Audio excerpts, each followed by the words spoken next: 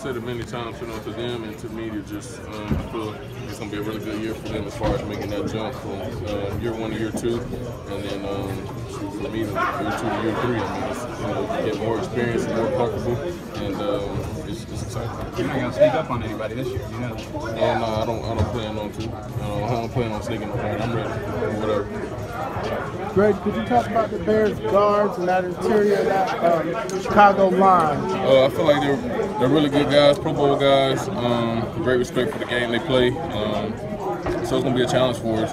We're looking forward to it. They got a really strong line, and um, you know we're looking forward to it. Working with Poe uh, throughout the uh, off season and exhibition season, what was that like? And are you all looking uh, forward to getting it going on Oh yeah, Sunday? absolutely. We're looking forward to getting it going, man. It's been awesome working with Poe and had since he come in, and um, you know it's been a big addition to this team, not just the defense, but I mean it's been awesome to be able to work with him day in and day out. So we're definitely excited, get ready to go to work and uh, see how far we can take it.